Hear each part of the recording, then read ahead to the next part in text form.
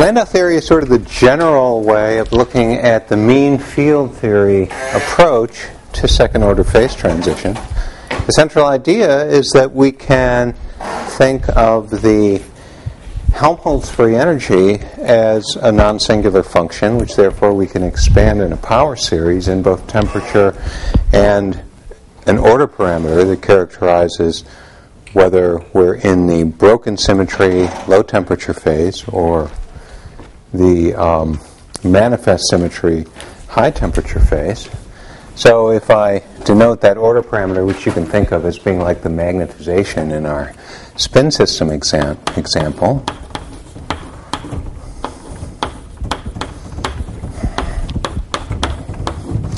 and we consider the temperature to be close to the critical temperature, so in particular, temperature minus critical temperature small compared to 1 when we divide by the critical temperature, then the free energy as a function of order parameter and temperature has um, a constant term independent of the order parameter, which depends on the temperature, but uh, imagine evaluating it at uh, Tc or a value close to Tc. Then the important thing is that I'm assuming, by the way, that there's a order parameter goes to minus order parameter symmetry, like in the magnetic model.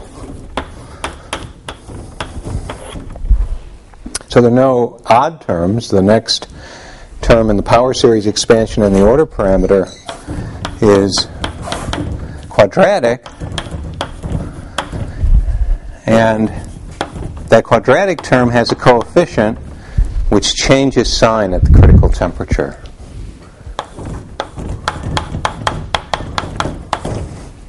I'm considering alpha to be positive, so that means that the quadratic term is has a positive coefficient for temperature above critical temperature and negative for T less than Tc. And then there's a there are higher order terms as well of all even powers. So the next most important term is psi to the fourth. So when the temperature is above the critical temperature, the free energy as a function of order parameter is quadratic in leading order. And right at the critical temperature, the so this is for tau greater than tau c. Right at the critical temperature, the free energy as a function of order parameter has no quadratic term, only a quartic one, so it gets very flat. And then as the temperature dips below the critical temperature, the quadratic term has a negative coefficient, so it turns down, but then the quartic term wins in the end and it turns over. And so the minimum of the free energy occurs actually at two non zero values.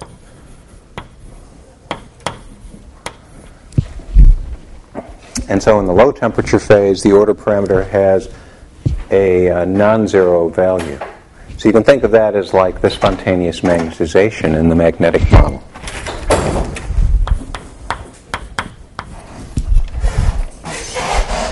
So, in particular, if you, you can ask, how does this um, value of the order parameter turn on when the temperature is just below the critical temperature, which we can find just by minimizing this function when uh, tau is close to tau c and a little bit less than tau c. And so the minimum occurs when the square of the order parameter is linear in the deviation from the critical temperature. So Landau theory makes the prediction that uh, the order parameter will behave like some constant with either a plus or minus sign times I'll write minus epsilon, where epsilon is this dimensionless deviation from critical temperature, to a power, which in general is called beta, and according to Landau, beta should be equal to 1 half.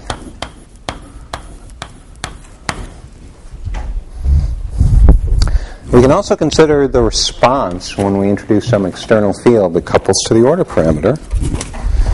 So consider modifying the Helmholtz free energy by introducing some terms that break the symmetry due to some external field, like the magnetic field in the case of our ferromagnetic model.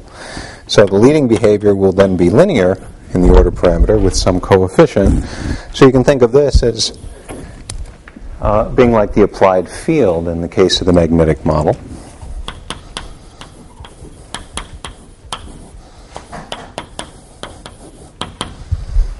That breaks the psi goes to minus psi symmetry so that um, when we're in the broken symmetry phase, when psi 0 is non zero, one or the other of these two minima will be favored depending on the sign of lambda, whether it's positive or negative. When we uh, fix the order parameter by minimizing this deformed, perturbed Helmholtz free energy, then the external field is derivative of Helmholtz free energy with respect to order parameter at, with temperature fixed.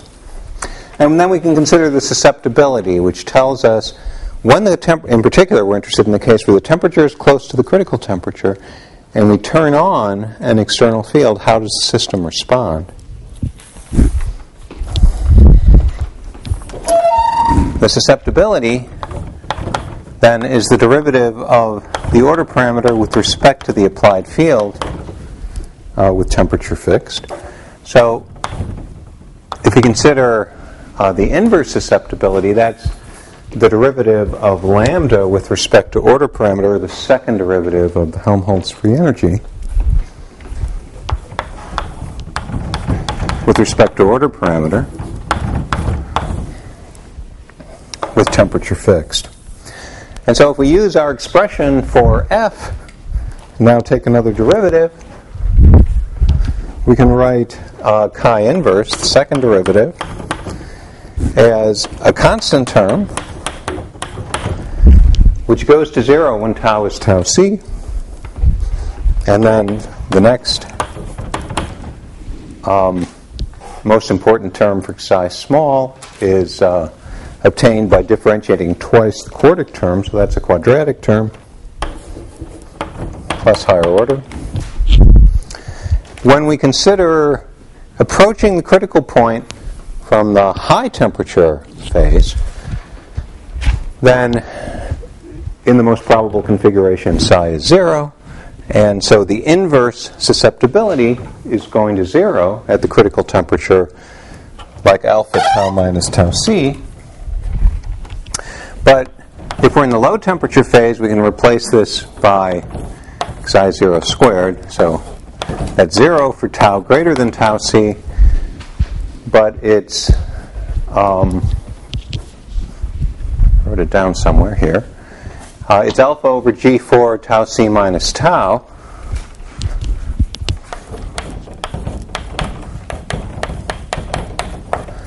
Uh, when tau is less than tau c. So when we multiply by 3g4, uh, this term, when tau is less than tau c, uh, looks like this term, except with the opposite sign and um, with the coefficient 3. So, what Landau theory tells us about the inverse susceptibility when we're close to the critical point is that it vanishes like linearly in the deviation from the critical temperature when we're in the high temperature phase. But uh, 2 alpha tau c minus tau when we approach the critical temperature from below. Either way, the susceptibility itself is diverging at the critical point. Its inverse is going to zero. So Landau theory says that the susceptibility, as we approach the critical temperature, goes like epsilon or minus epsilon, depending on whether we're coming at it from positive or negative epsilon. So I'll say absolute value of epsilon to a negative power, call it minus gamma, and Landau says gamma is equal to 1.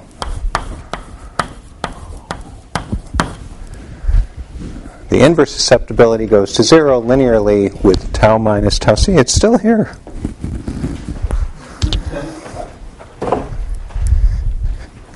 Okay.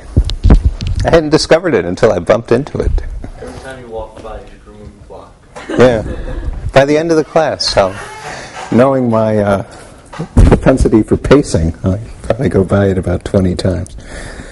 Um, okay.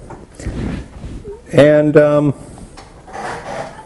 well, there's also a prediction about, prediction about the heat capacity, but uh, I guess I'll skip over that.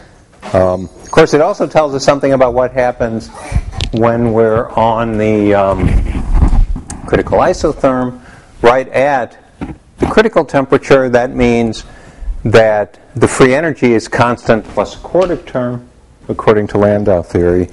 So when uh, tau is equal to tau c, the equation which relates the applied field and the order parameter on that critical isotherm is that lambda, derivative of free energy uh, with respect to psi, is uh, goes like psi cubed plus higher order. So um,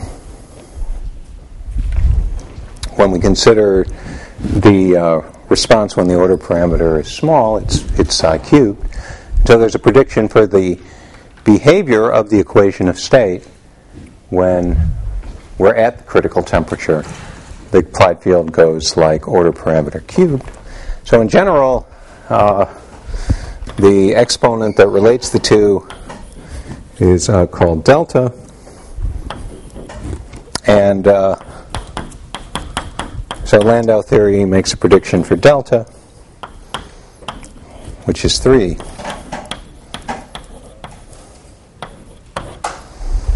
And actually, there's a more general statement about the equation of state when tau deviates away from the critical temperature, which is another one of the homework problems. Okay, so the neat thing about these predictions is that they're universal. They follow for any system, as long as our basic assumption is satisfied, which is an extremely mild assumption. It's just that the Helmholtz free energy can be viewed as a non singular function, which we can expand in a power series. Okay? And so they apply in particular to both our van der Waals model of the uh, solid, sorry, not, not solid, liquid gas phase transition and our uh, mean field model of the ferromagnetic phase transition because both have that property that they can be viewed as models in which the Helmholtz free energy is non singular. Okay, so it's great to have universal predictions, but they're also wrong predictions.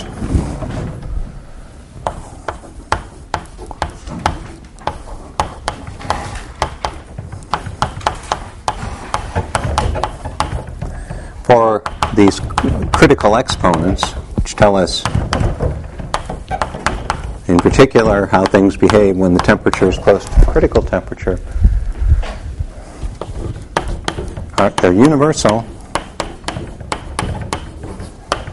uh, but also wrong. Now, the actual situation is that there, there's a broad class of second order phase transitions which have the same exponents. Exponents really are universal, but beta, instead of being one half in practice, is something like a third, about 0.32, and gamma something like 1.3.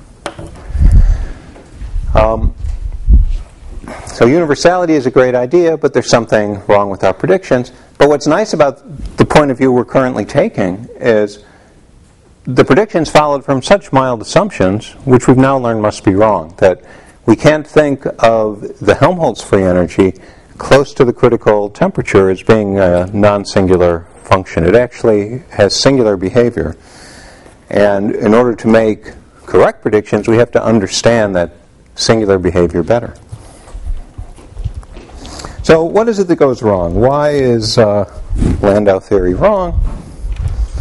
Well, it has to do with the fact that our analysis has been aimed at trying to understand the uh, most probable behavior, the value of the order parameter in equilibrium. But what we've ignored are the fluctuations around equilibrium. Usually, as in past discussions, the fluctuations are a small effect. So just looking at average values is fine for getting predictions that agree with the experiment. But close to a second order phase transition, fluctuations are very important. So, what we conclude from this failure is that uh, f is singular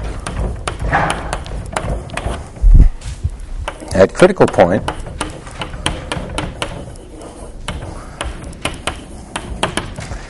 and the qualitative reason why uh, because fluctuations of order parameter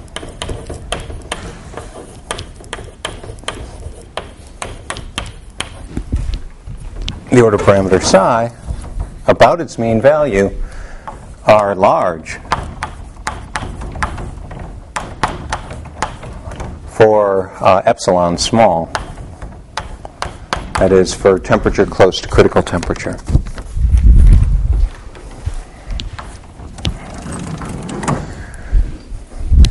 So when we're approaching the critical temperature, like I said, the free energy function gets extremely flat. And you can think of this function as governing fluctuations if uh, in some region the um, order parameter departs from its mean value, it's not the most probable configuration. So now, usually we don't talk about dynamics when we think about equilibrium properties. But if we do think about dynamics, the free energy functional, if the fluctuation tries to climb up the potential, it's going to make it want to come back down, right? but it's going to come back down really slowly when the curvature of the free energy as a function of the order parameter is very small. The quadratic term, which is going away at the critical point, is responsible for the restoring force that makes fluctuation relax back to order parameter equals zero. So, so because it's flat at temperature close to critical temperature, fluctuations in psi take a long time to relax.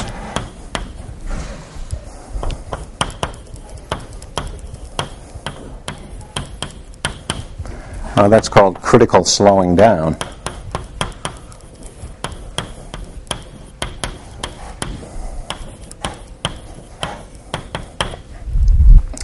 Usually the system is fluctuating around its most probable configuration, but those fluctuations have a short time scale. So um, you don't have to wait very long for the fluctuation to relax away.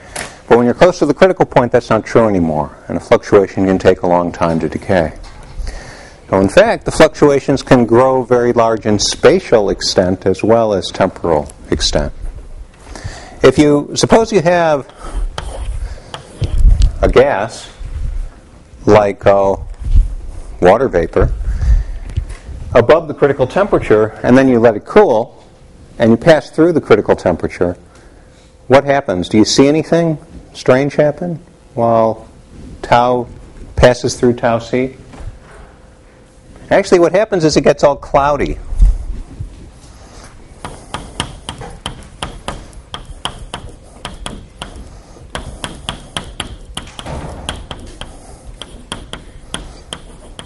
It's transparent when the temperature is a little bit above the critical temperature. It's transparent when the temperature is a little bit below.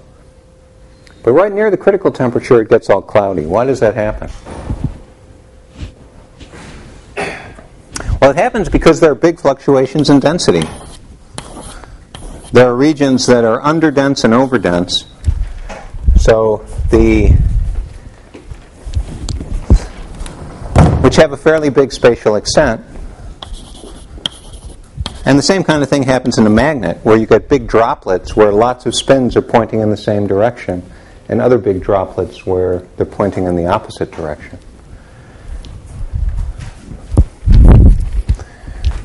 So, for temperature close to critical temperature, there are large regions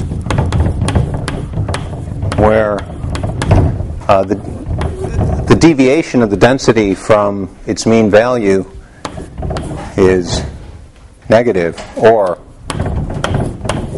positive.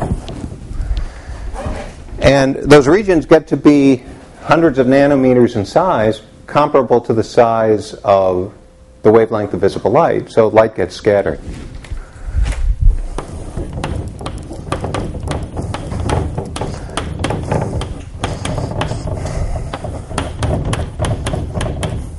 So, visible light in particular, the kind we see, gets scattered. And that's why it gets cloudy.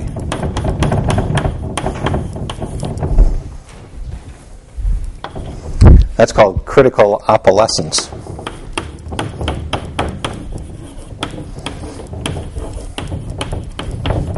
Opalescence being a fancy word for you can't see through it. So what's happening when the temperature is close to the critical temperature is there are these all these big fluctuations on big scales, and they take a long time to relax. So for temperature comparable to critical temperature, many uh, length scales are important.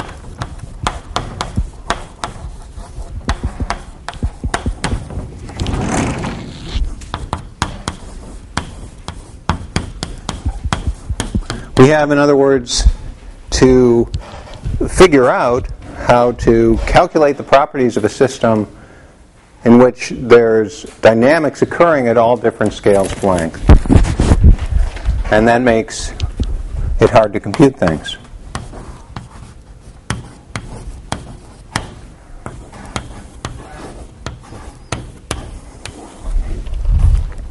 And this was a big problem for decades. But it finally got cracked in the uh, early 70s. In particular, due to work by Kadanoff and Wilson.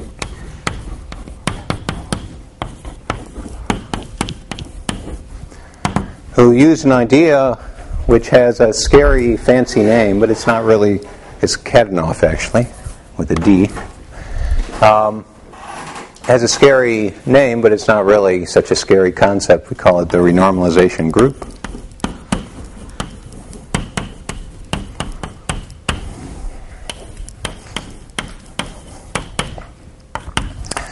And their idea for tackling a problem which has fluctuations on all these different length scales is to do a kind of coarse graining of the system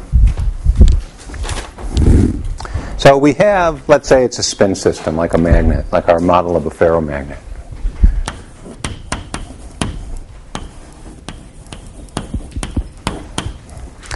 So the spins in the uh, spin system interact with their neighbors. So here's the spin system. There are a bunch of spins, may be arranged on a regular lattice. And each one interacts with its neighbors. Namely, there are interactions that make the spins want to line up in the same direction, which is going to give rise to ferromagnetism when the temperature is low enough.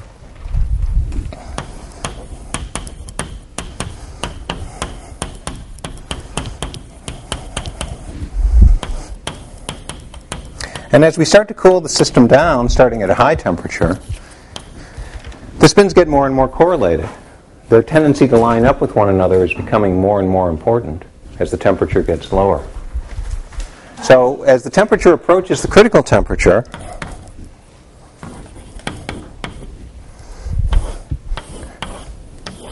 we start to get droplets of spins which all want to line up the same way.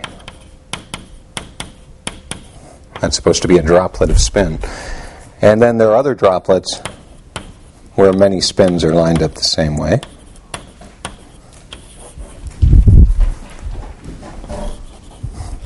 We get large droplets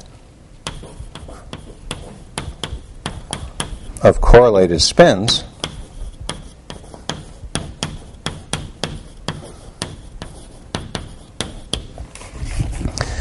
So now what do we do? Well, what Kadanoff and Wilson say is we should sort of coarse grain the system. We should look at it with a coarser uh, spatial resolution.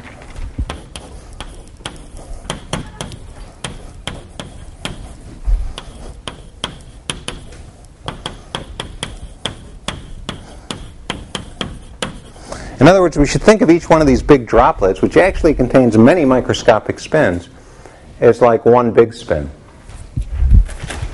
And that's essentially what the renormalization group is. It's to replace many spins with sort of an averaged spin.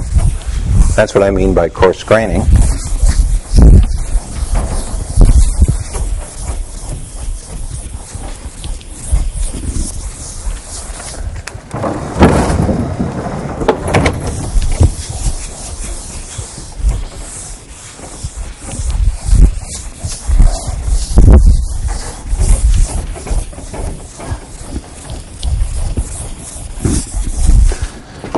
Now we're talking about going beyond Landau theory.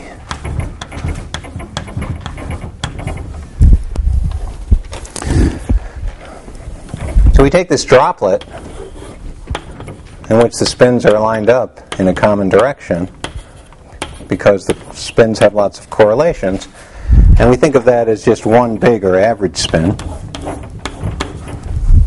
So now we can describe the system as one in which those big average spins are interacting with one another.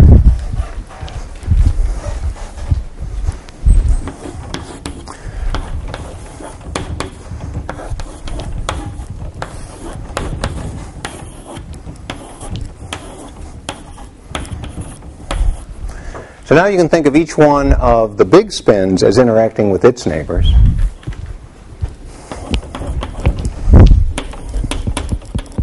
So each big spin uh, interacts with neighbors.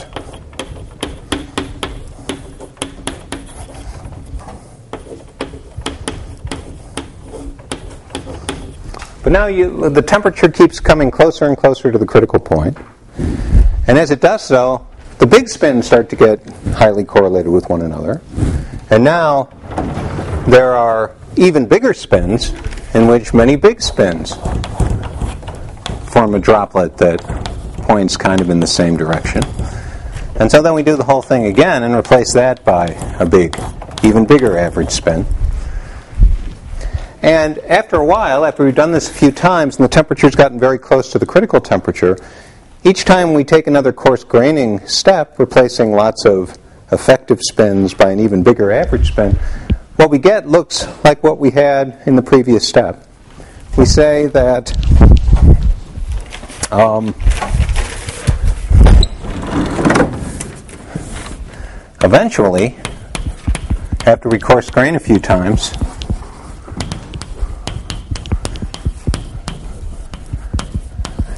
after many coarse grainings,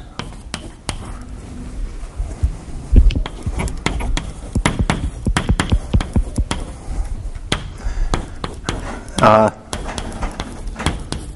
the coarse grain system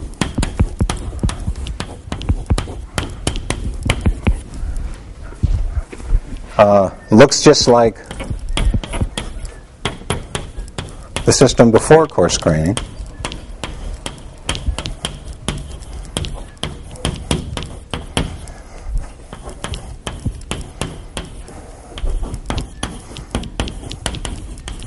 So in that case, we say the system scales.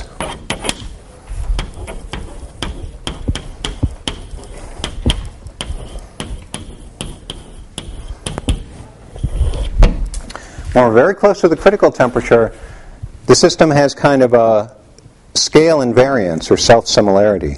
If you look at it with in a more and more coarse grained way, it still looks the same as it did originally. That's because it's got these fluctuations on all different scales.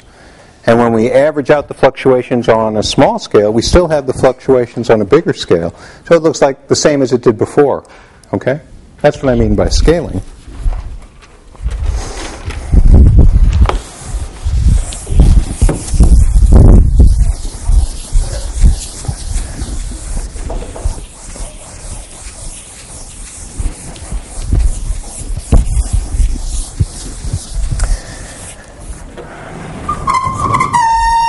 But it looks the same only after some redefinitions of the parameters.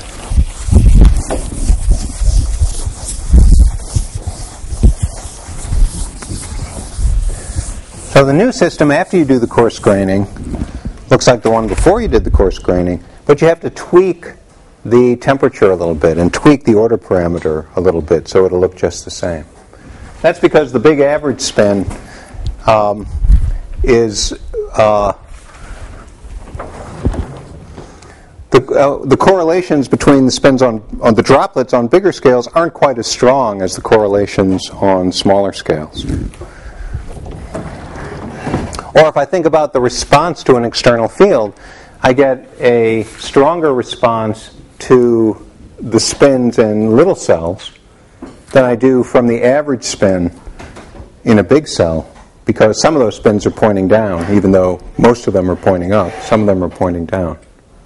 So the average behavior of the big spin in response to an external field isn't quite as strong as for the little spin.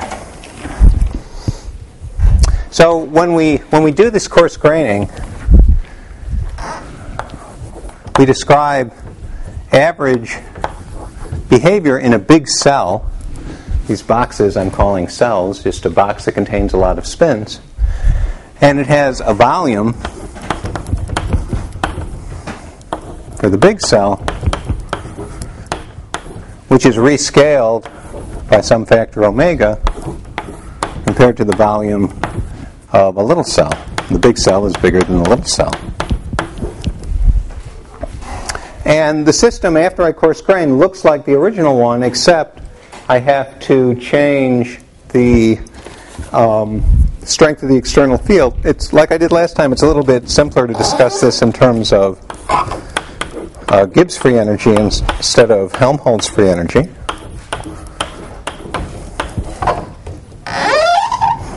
And I wrote down the scaling hypothesis last time, which looks like this.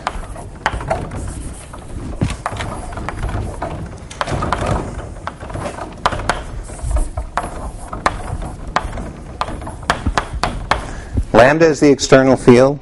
Epsilon is the dimensionless deviation from the critical temperature. So omega is like a volume factor. The, since the Gibbs free energy is extensive, the Gibbs free energy in a big cell, which is omega times bigger, goes like omega times the Gibbs free energy in a small cell. So you can think of this as the Gibbs free energy in a small cell um, per unit uh, volume times the total volume. And then there's a factor of omega because we changed the volume of the cell. And then what this says is if we want the physics to look exactly the same, we have to make a little adjustment by some factor depending on the ratio, the volume of the big cell to the little cell, to the external field and to the deviation from the critical temperature. So we have to adjust the, the external field for the reason I said that the average spin in the big cell it's a little bit softer than the average spin in the little cell because not all the cells uh, spins are pointing in the same direction.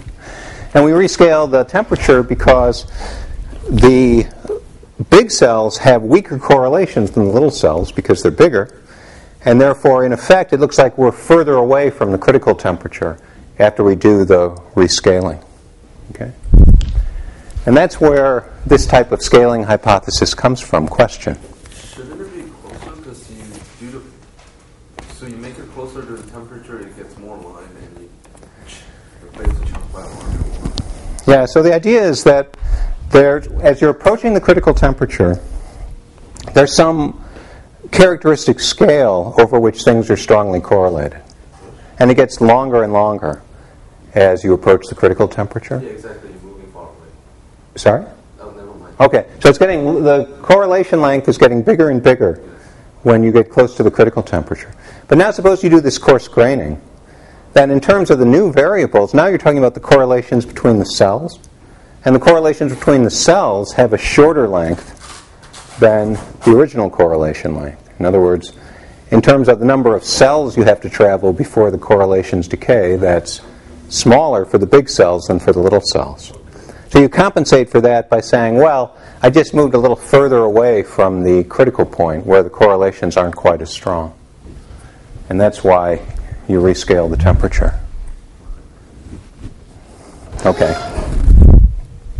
So, anyway, it's a long story how you can actually calculate the P's and Q's from some more sophisticated description of the fluctuations near the critical point than, than Landau theory, which I which we won't go into, but as you've seen in the homework, or we'll see by 5 p.m., uh, just from this scaling hypothesis, you can learn a lot, since you can predict the behavior of various critical exponents in terms of the p and the q involving uh, that describe how the Gibbs free energy scales. And because you can extract more predictions than the number of parameters p and q, there are some relations among those quantities that you can extract. That's what you do in the homework.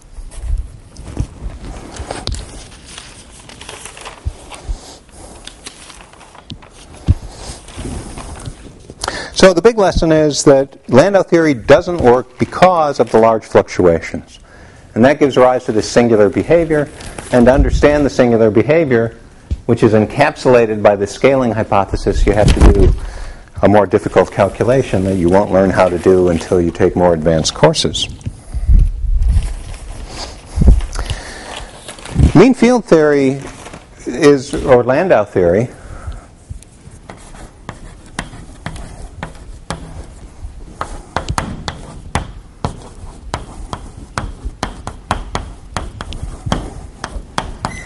since Landau theory is just kind of a general way of looking at mean field theory, should work if the fluctuations are not so big, if they're not so important.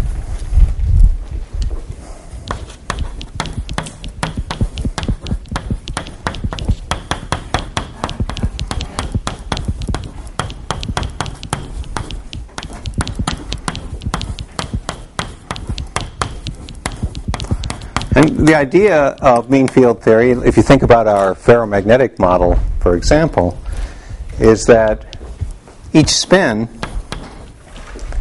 is responding to uh, the average behavior of all the other spins, or to the, to the average of all the other spins.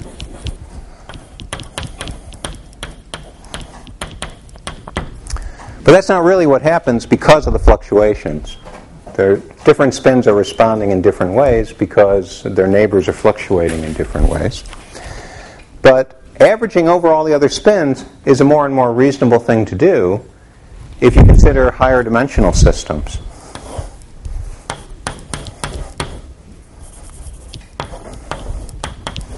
Over higher dimension or higher spatial dimension,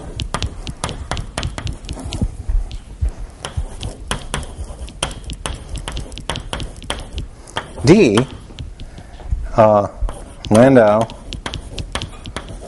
work better.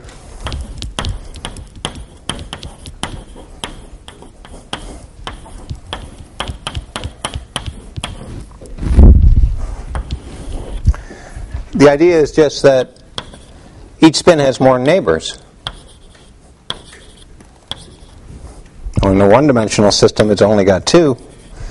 In a two dimensional system, on a square lattice, it has four. On a cubic lattice, it has six, and so on. So each one of those neighbors is equally important in determining what a particular spin wants to do. If it has more neighbors, then it's a more sensible approximation to say that it's responding to the average of many other spins.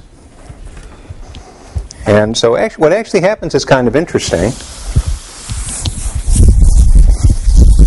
It's true that if you consider the dimension going to infinity, then Landau theory works. Because then there are lots and lots of neighbors. But you don't actually have to go to dimension equals infinity.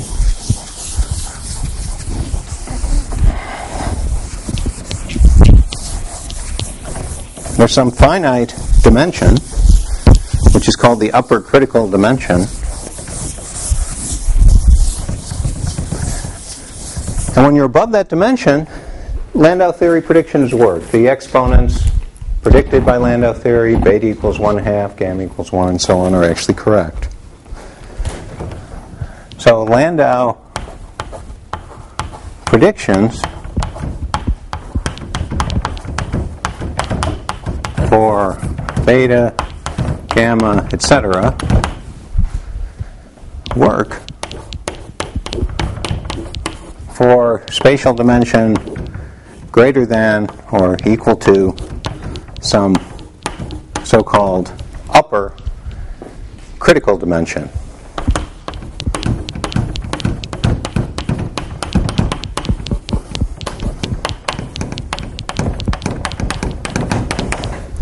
And that turns out to be 4.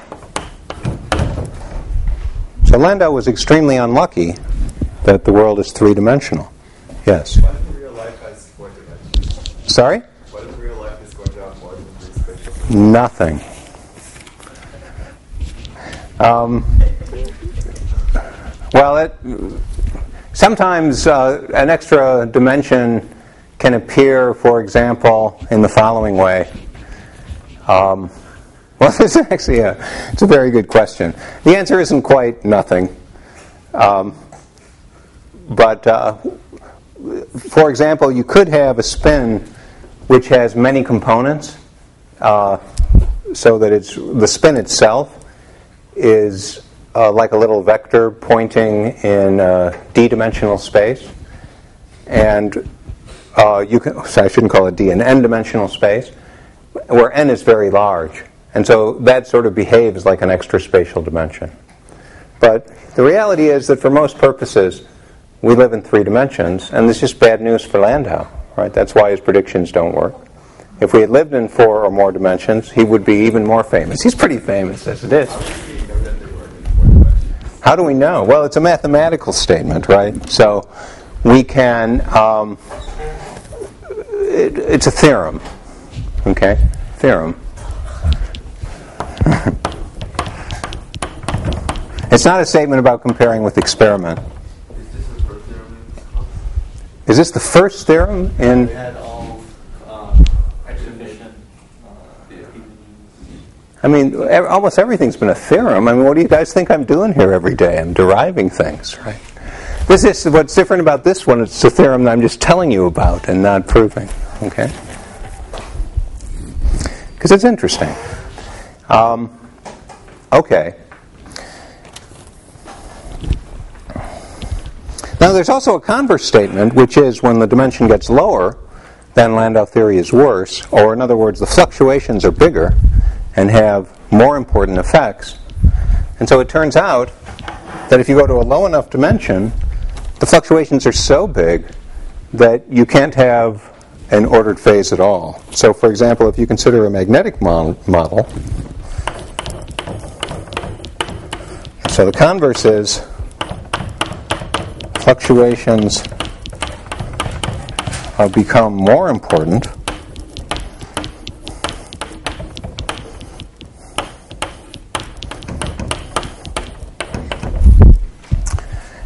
for lower dimension.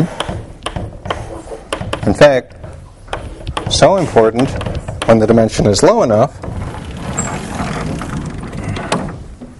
that um, spontaneous magnetization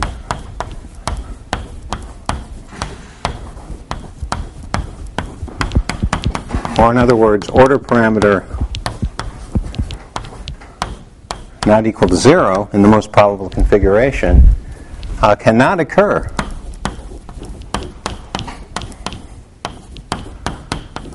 for d uh, less than or equal to some d lower called the lower critical dimension.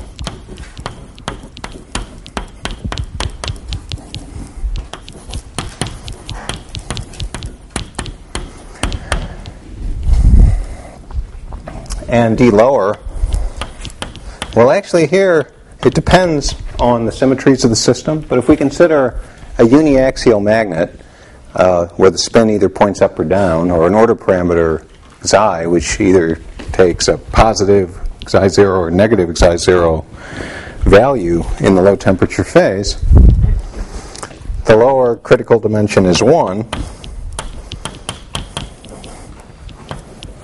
We're talking about an axial magnet, but turns out to be 2 if we have a rotationally invariant magnet.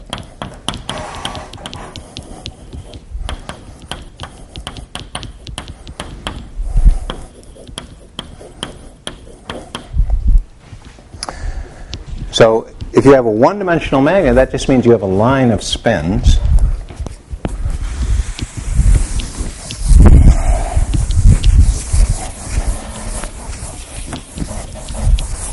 So I'm saying that in that case, there's actually no long-range order except at exactly zero temperature.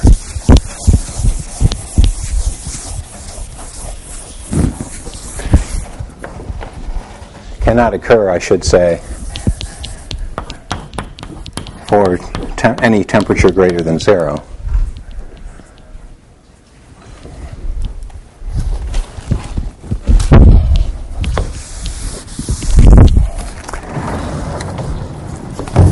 Because no matter how small the temperature is, there are always fluctuations which are big enough to wipe out long range order.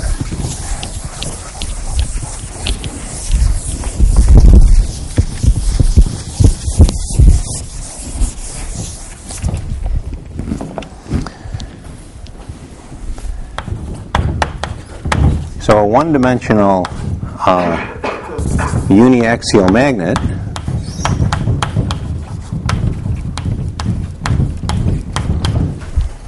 is disordered, not spontaneously magnetized. Uh, for any temperature greater than zero.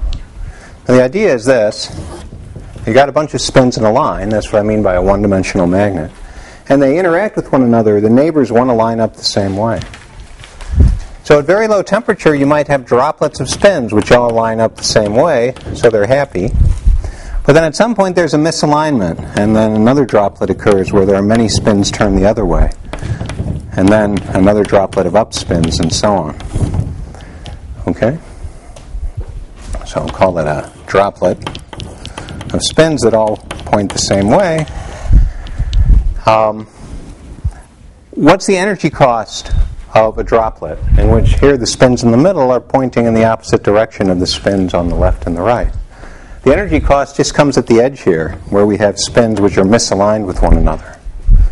If it's only the neighbors that interact and all the spins want to point in the same way, there's some energy cost. If we have a kink, so to speak, where the spins are misaligned. But it's just some constant energy cost. At any non zero temperature, there's going to be some probability per unit length of having kinks. So when the system gets very long, there's going to be some number of kinks per unit length, which is non zero. And that means the spins on average are going to be as likely to be up as down. Right? Because the kink doesn't care how big the droplet of spins is that turns over. It only costs energy at the edge. So for tau greater than zero, kinks have a positive density per unit length.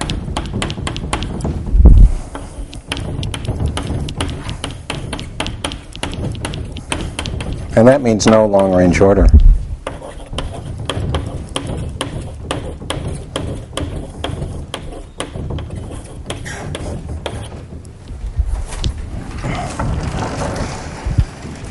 In two dimensions, it's a different story because in two dimensions, at low temperature, let's say most of the spins line up in the same direction. But then there's a droplet of spins that point the opposite way. surrounded by spins that all point up. So in that case, the energy cost of that droplet of flipped spins is proportional to the total length of its boundary.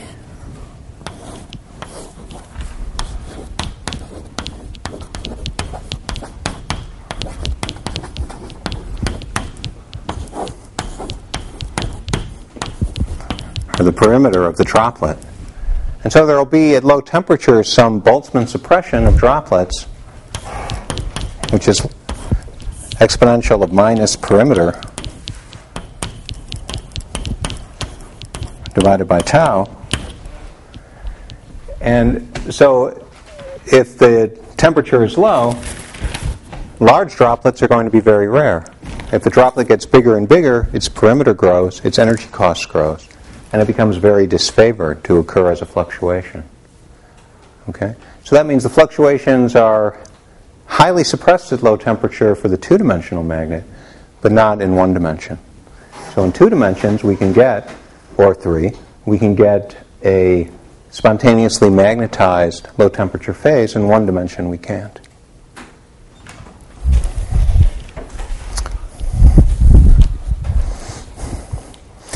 So, how do you actually compute this stuff?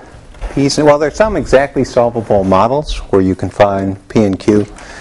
There's a, a, a kind of a general approach which works somewhat well that uh, Wilson and Fisher originally suggested, which I'll tell you about only because there's sort of a moral, which is if you're a physicist and you're trying to solve a hard problem, you're kind of lost unless there's a small parameter. If there's a small parameter, then you can say, all right, I can start out with the approximation in which that parameter is zero. And then maybe I can try to systematically calculate the effects of that parameter deviating a little bit from zero.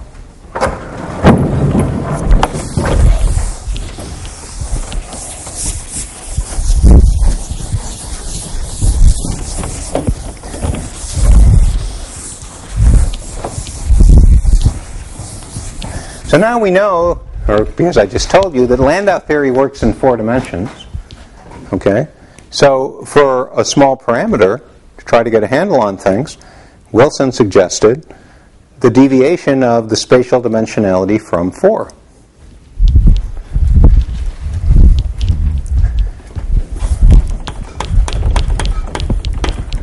So Fisher Wilson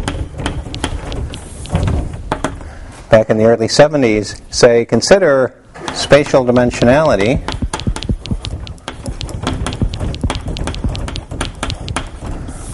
d well i'm going to call it 4 minus epsilon for which i apologize it's not the same epsilon but everybody calls it epsilon. Everybody calls that epsilon. What am i supposed to do? This doesn't mean the deviation of the temperature from critical temperature it just means the deviation of spatial dimension from 4 so when epsilon is equal to zero, that's a case we can understand. We can use Landau theory. We're really interested in epsilon equals one, right? That's d equals three. But what they did is they worked out a way of systematically expanding quantities like p and q in powers of epsilon in a power series expansion. So we can uh, expand because we're expanding about something we understand. You can always do that. We understand Landau theory. Uh, expand beta, gamma, all the things we'd like to compare with experiment as a power series in epsilon. And then, after carrying that out to some order, try setting epsilon equals 1 because we'd really like to know what happens in three dimensions. And there's no guarantee this will work. Depends on how rapidly convergent this expansion is. But in fact, it works pretty well. And you can understand this 0.32, uh, for example, behavior of beta by carrying out this expansion to uh, a few orders and setting epsilon equal to 1. Okay? So if you don't know what to do, look for a small parameter, and it might not be obvious how to find one. Yeah? Does epsilon have to be integer in this model? Well, no, it, I mean, so of course you probably are wondering what it means to do statistical physics in 3.99 dimensions. It's a good question. but, the, so what they really do is they write down a bunch of integrals, right? And so they have a formula that depends on dimension. And really, those formulas only make sense when the dimension is an integer. Um, so then you have to tell a story which is, in the end, I think, not completely convincing about how, well, it actually makes sense for every integer dimension, and if you think of it as some analytic function, maybe you can argue, if you have know something else about the properties of that function, that it has a unique analytic continuation away from the integer So we can define a function uh, of d that you know really depends continuously on d and is defined off the integer values. Really, they just looked at some formal expression which had d's in it and said, suppose those d's are you know real numbers instead of integers, without any a priori justification. Do the math, they actually treat it as a real number. And then when Well, actually, you can treat it as a complex number because you're doing a power series, so you're treating it as an as an analytic uh, as an analytic function of d, um, which has singularities in the complex d plane and all that fun stuff. But it works. It doesn't work great, but it works okay. You can do a lot better than Landau theory, and that's something else that. Uh, if you continue in physics, you'll learn about because this subject of critical phenomena and scaling is really central in modern physics, in classical quantum statistical physics, and in particle physics too. So, just one last remark. So, the whole, the great idea about Landau theory was it was universal, right? It didn't depend on the microscopic details. So, the scaling theory also has that property. So, uh, these scaling functions apply to a big class of microscopic models which all scale the same way. But not everything scales the same way. There are so called universality classes.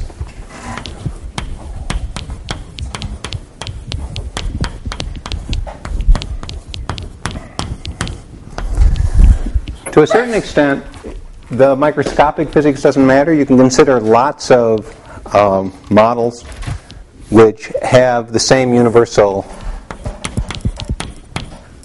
properties. If you're in a certain universality class, then you have the same value of p and q in this scaling ansatz, and therefore all the predictions that follow from the scaling uh, hypothesis. But not everything's in the same class. A class uh, depends on the symmetry of the model. So, for example, a, a uniaxial magnet, which has the order parameter goes to minus order parameter symmetry, and a rotationally invariant magnet,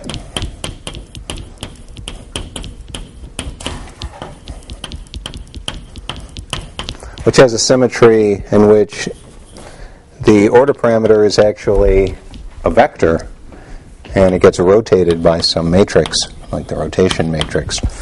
And that leaves the dynamics of the system unchanged because no matter how you rotate the magnet, it looks like the same magnet. Uh, these have different symmetries and they're in different universality classes. We could already infer that from what I said about the lower critical dimension, which is different in um, the uh, case with psi goes to minus psi symmetry and continuous rotational symmetry. There's still universality in the sense that you can consider any magnet model you like with uh, some kind of local interaction among the spins. As long as it's rotationally invariant, it'll be in the same universality class and the predictions will apply to it. Okay. So that's it for critical phenomenon. So we got um, a half hour today, and next week have uh, we have to decide what to do. I'm going to do a little kinetic theory. There's a lot of other stuff in the book. A lot of it's fun. Much of it is applications of the principles that we've been learning up till now. But I think from a fundamental point of view, kinetic theory is probably the most important thing in the rest of the book.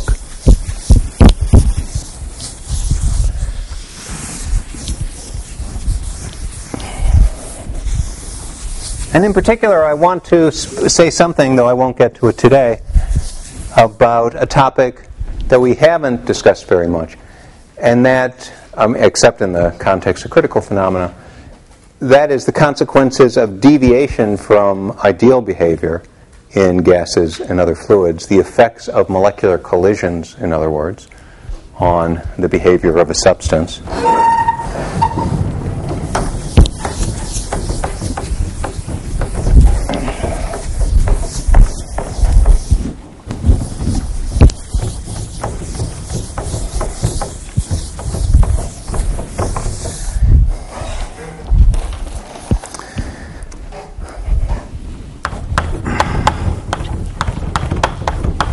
Chapter 14 in Kittel and Kroemer.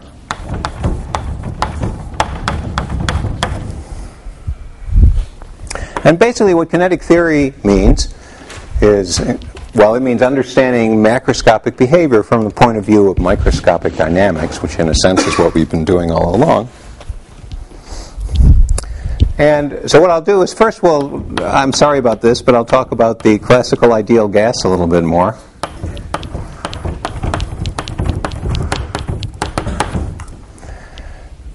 But then, I want to say something about diffusion, which is a consequence of non ideal behavior.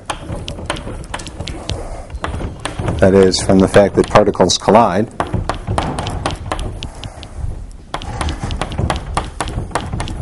They're not really non interacting.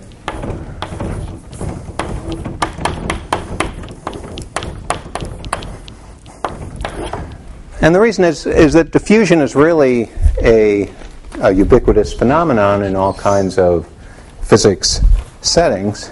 It's the key to understanding heat conduction,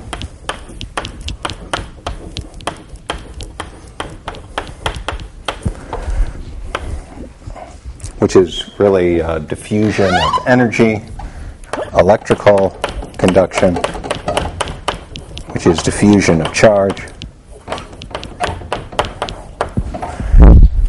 uh, viscosity in fluids is diffusion of momentum. Mixing of materials, like if we allow two different species of gas to mix with one another, that's a diffusive process. So to understand all these things, we should know something about diffusion, and that arises from the fact that gases aren't really ideal. The molecules collide. But first, let me, um, like I said, consider a classical ideal behavior again from a somewhat more point of view, uh, somewhat different point of view than before. I want to revisit the concept of classical equipartition.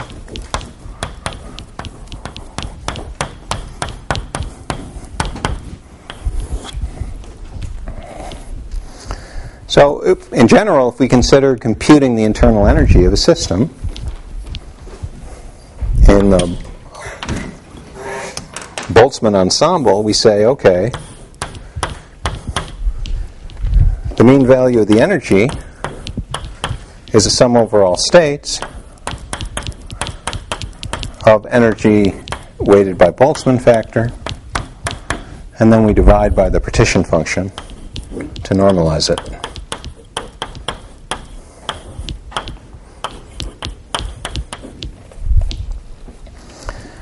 So, suppose, for example, I consider an ideal gas.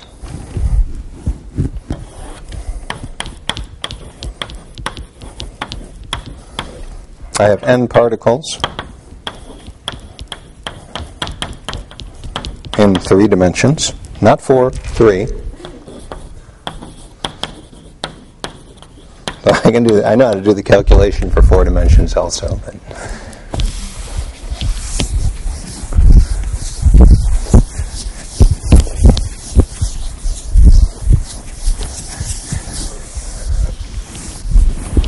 Yeah.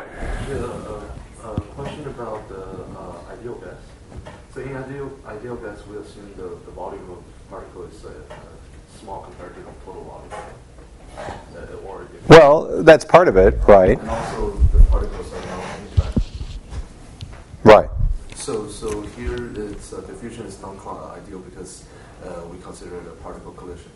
Yeah. But without particle collision, how do we even make sense of pressure? Well, I want to make a distinction between the collisions of the particles with the walls of the container and the co- collisions of the particles with one another. So, in particular, I guess we'll, we'll talk about this next Tuesday. Um,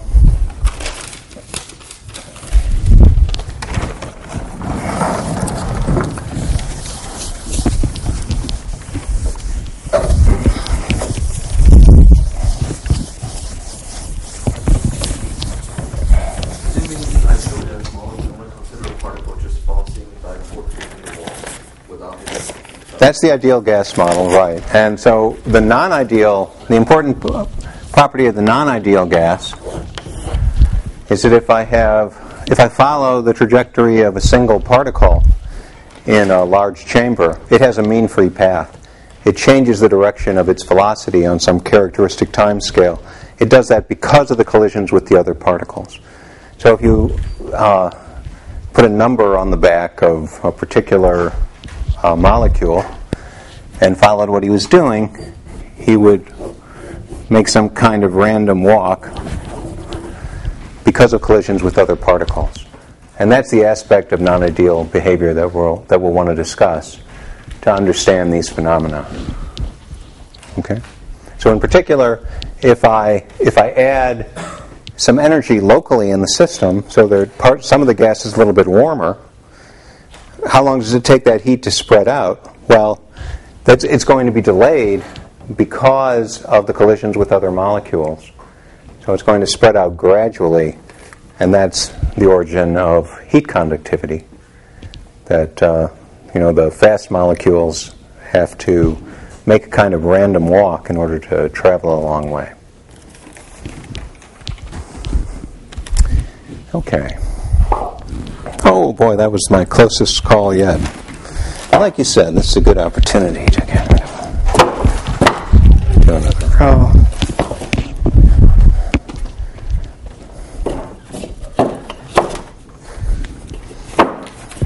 Okay. I'm just stalling, I guess. Who wants it. I don't think so because I'm pretty damn likely to trip over it now, uh, or even before. Okay, so if I consider uh, an ideal gas, I can uh, classically what is it? It's just a bunch of particles, and each one has a position and a velocity. So in the classical case, I can completely characterize it by the position in three-dimensional space of each of n particles. That's not enough by itself. I also need to know their velocities or momentum. But if I know the position and the momentum of each one of n particles, I know everything classically, right? Um, now, suppose we're talking about one particle. As we've discussed many times, if we have a particle in a box, we can sum over all of its orbitals. When we sum over orbitals,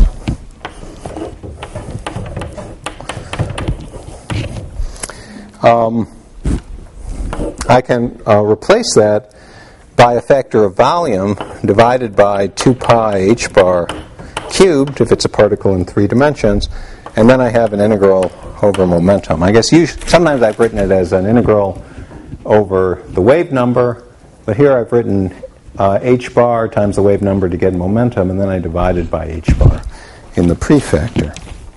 So you can think of this volume as arising from integrating over the position of the particle. So it's really uh, summing over all of the states for a single particle is doing a three-dimensional integral over its position and its momentum and dividing by 2 pi h bar cubed for a particle in three dimensions. Since h bar is really h over 2 pi, if you like, we could call that h. And that's a nice formula because it's kind of easy to remember.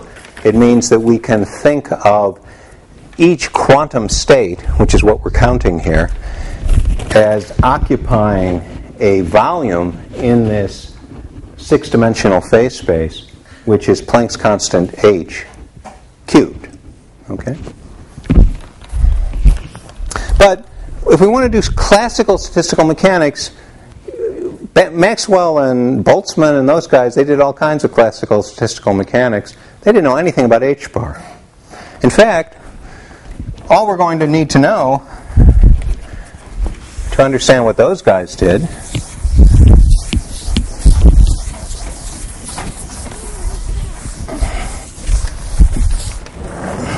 sorry, they were all guys. Is um,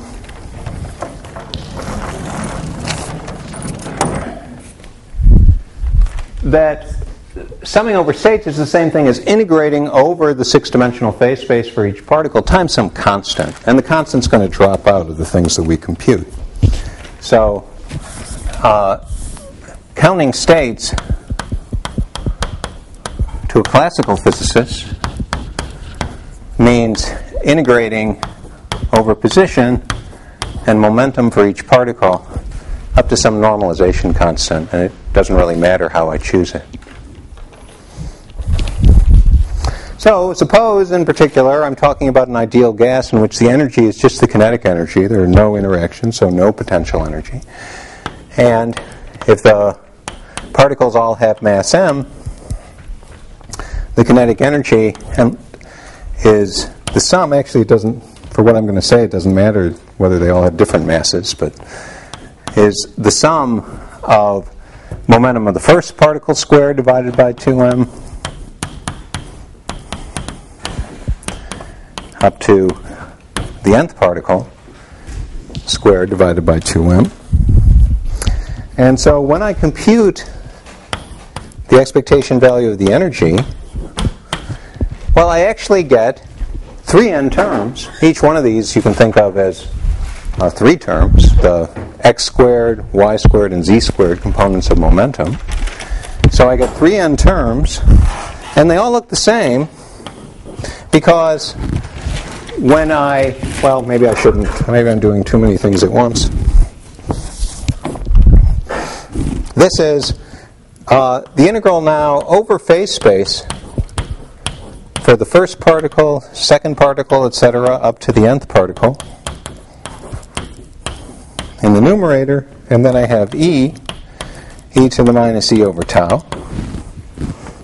And the denominator, I have almost the same thing except no factor of e.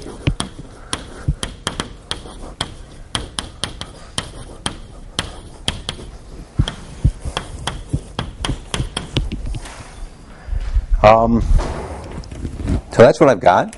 But this is just a sum of 3n terms, these 3n terms.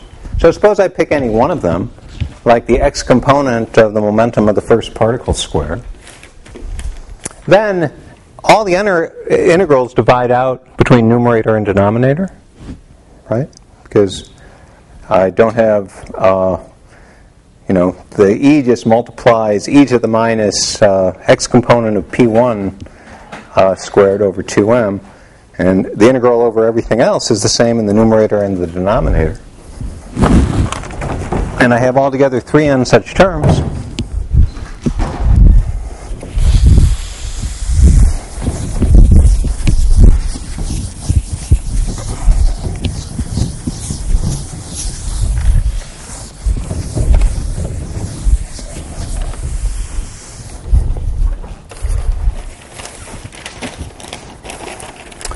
So we have 3n, and then times uh, an integral over one particular momentum of 1 over 2m p squared, e to the minus p squared over uh, 2m times tau, divided by an integral dp, e to the minus p squared over 2m tau. So just by um, multiplying and dividing by tau. Um,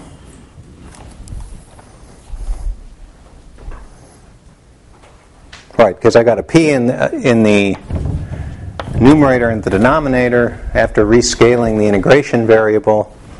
Shouldn't be 3n um, equals 3n times, and this is equal to u because I have three n such terms, three n such terms rather. And so that just becomes tau times this dimensionless integral. So this is 3n tau.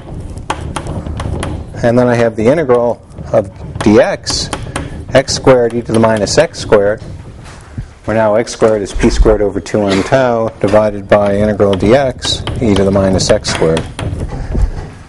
And that's just a dimensionless number which is one half. The momentum, and hence x, is being integrated from minus infinity to infinity in numerator and denominator. So, that's just 3 halves and tau. So, as you already knew, the average energy per particle in the classical ideal gas is 3 halves tau.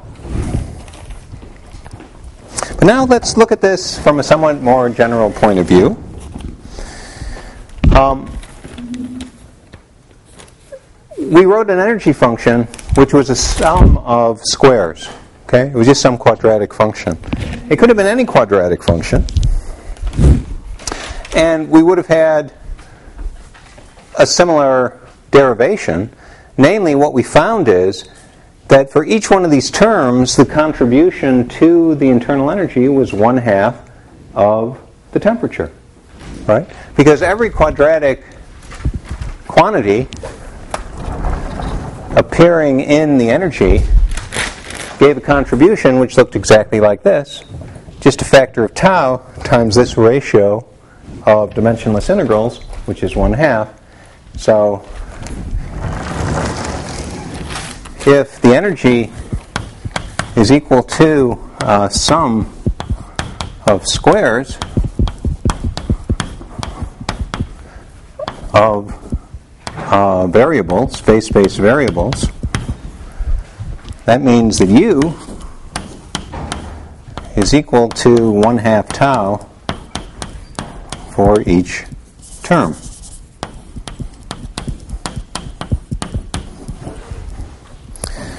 Suppose we had many harmonic oscillators instead of many free particles, for example.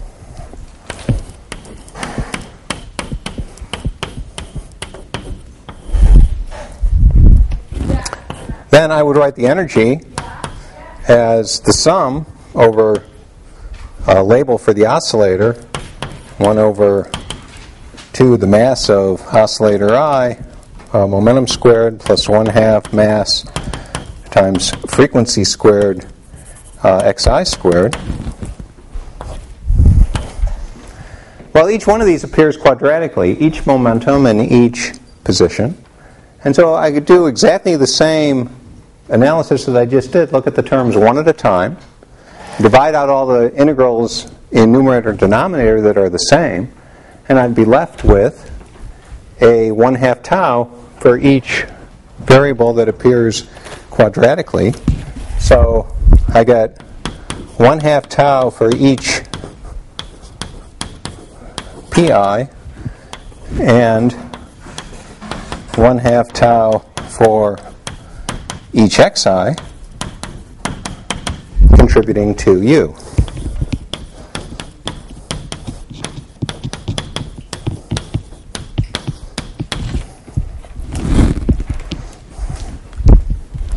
So in the case of n harmonic oscillators, if the sum goes from 1 to n,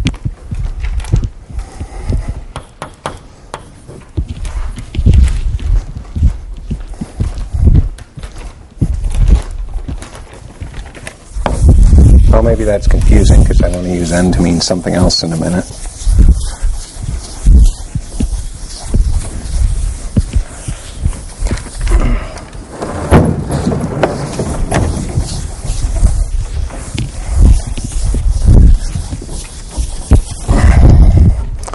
So let me just put it this way. The internal energy classically, if the energy is a sum of squares, is equal to 1 half tau times a number of quadratic degrees of freedom.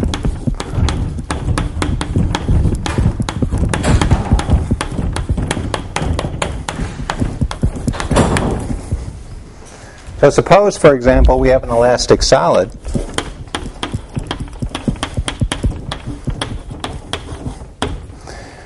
So we have n atoms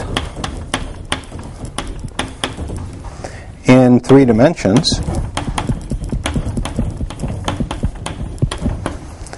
And that just behaves like three n harmonic oscillators, right? Describing the vibrations about equilibrium of the position of each one of n particles in three dimensions. So we have 3n uh, xi's, well, how, I don't know. Uh, three because we're in three dimensions and n atoms Oh, I'll just say 3, 3n times 1 half tau uh, from positions plus 3n times 1 half tau uh, for momenta. So altogether, 3n tau. Correspondingly, the heat capacity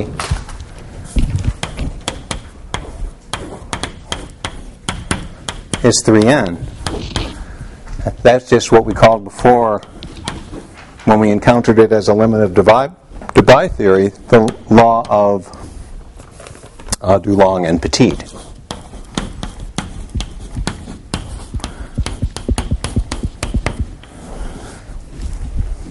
It's just this classical equipartition principle again. The principle that every quadratic degree of freedom contributes one half tau to the total energy. Now we know quantumly that this applies only in a certain high temperature limit, the so called classical limit. So this classical equipartition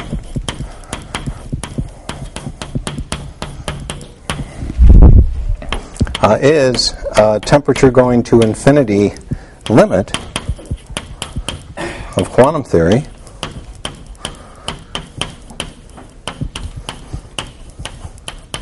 And so, in the case of a harmonic oscillator in particular, we know the expectation value of the energy of a single harmonic oscillator, as we've discussed a number of times by now, is the level spacing h bar omega times e to the h bar omega over tau minus 1, uh, which becomes just tau when tau goes to infinity. Well, that's two quadratic degrees of freedom, each contributing one half tau, the x and the p and it becomes something small at low temperature, h bar omega times e to the minus h bar omega over tau as tau goes to zero.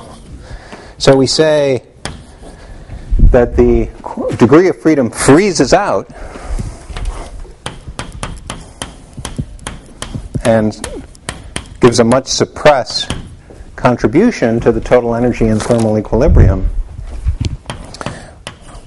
when the temperature is small compared to uh, h bar omega, where omega is the frequency of the oscillator. But the classical equipartition principle kicks in at high temperature, high compared to that oscillator level spacing.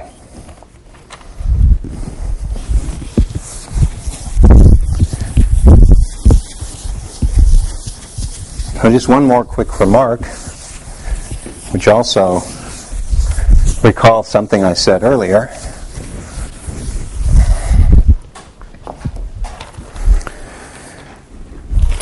Um, so I can summarize this by saying when we speak of equipartition,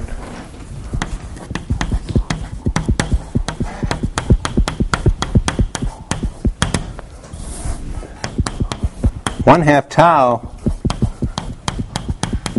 contributes uh, to u for each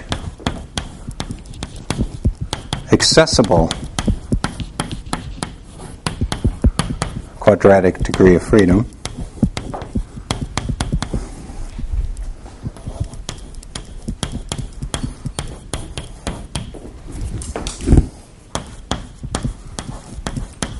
Where accessible means not frozen out.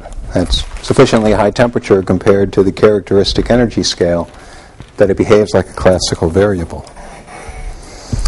So if I consider a gas a molecular gas, like a gas of dipolar molecules, in addition to the center of mass motion of each molecule, we can also consider vibrations,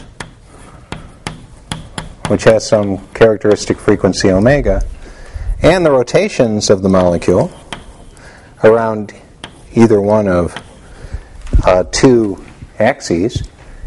It can either rotate out of the plane of the board or in the plane of the board. And in the case of the vibrational modes, of course, the spacing is just h bar omega, where omega is the vibration, vibrational frequency of the molecule along its axis. And in the case of rotation, the energy is 1 over twice the moment of inertia of the molecule about the midpoint of the axis times angular momentum squared about either one of the two axes. Call that L1 squared and L2 squared. These are also quadratic degrees of freedom. So in this case, since it's an oscillator, when it's accessible, that contributes another uh, tau. There's an x and a p in the harmonic oscillator when that degree of freedom is not frozen out. And this is also another tau, since there's a angular momentum uh, squared about each one of the two axes, two more quadratic degrees of freedom.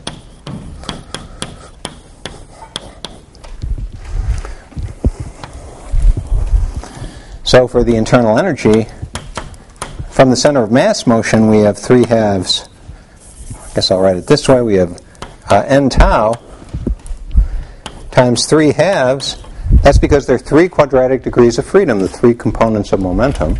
And at high enough temperature, plus another one for the two rotational degrees of freedom, plus another one for the vibrational degree of freedom.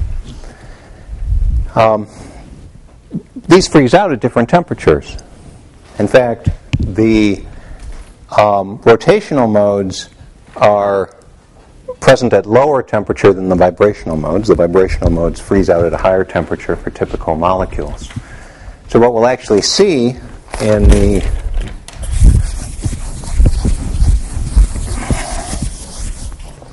if we look at the heat capacity as a function of temperature, um, divided by n.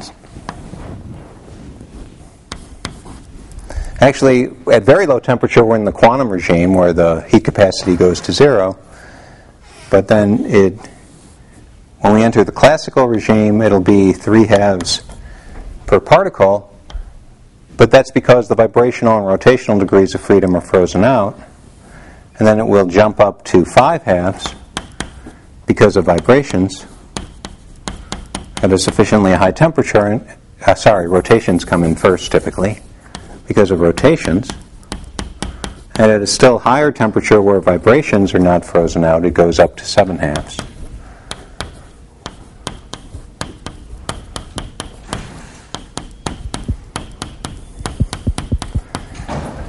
But anyway, the principle is one, oh boy, that was a close one.